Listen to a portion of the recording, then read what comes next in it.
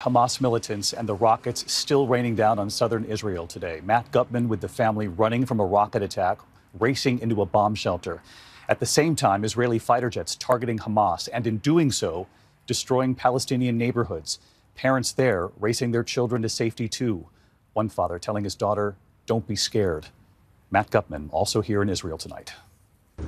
It's a war that tonight is being fought mostly in the air as Israel strikes Gaza. Hamas rockets arc over the border, raining down on the southern Israeli city of Ashkelon. Above us, you can see so many streaks of smoke crisscrossing the sky. Today, we witnessed an onslaught. It was hours long. We are pinned down here under this aerial bombardment. This is what people go through here every single day. This is why this town is a ghost town. Everything in Israel is a ghost town because of that. As air raid sirens wail, we race into a bomb shelter. Hey, this is another bombardment. It has been incessant. You see families with children taking their dogs down. Families huddled together. Ruti with her two daughters, Aviva and Orhava. Ruti telling me this is not the life she wants for them. And these poor kids are growing up in this reality. That's the hardest part. We've lived through wars, but these little kids haven't lived through wars. Today, the children's wing of the local hospital hit with a direct strike.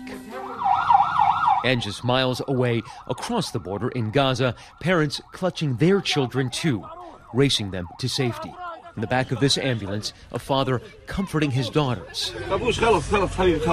Don't be scared, he tells them. Don't be scared. The destruction in Gaza is staggering.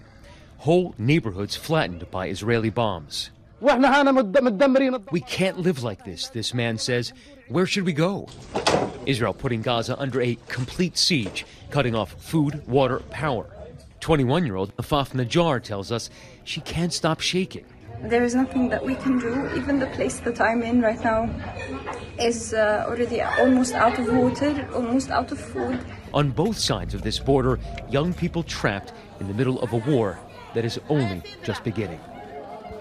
David, Hamas is still firing rockets, but there are also infiltrations. While we were in Ashkelon today, the Israeli military reporting that several terrorists managed to cross from Gaza into Israel. It gives you a sense of the insecurity right now in southern Israel. David.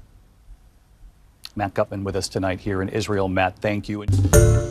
Hi, everyone. George Stephanopoulos here. Thanks for checking out the ABC News YouTube channel. If you'd like to get more videos, show highlights, and watch live event coverage, click on the right over here to subscribe to our channel. And don't forget to download the ABC News app for breaking news alerts. Thanks for watching.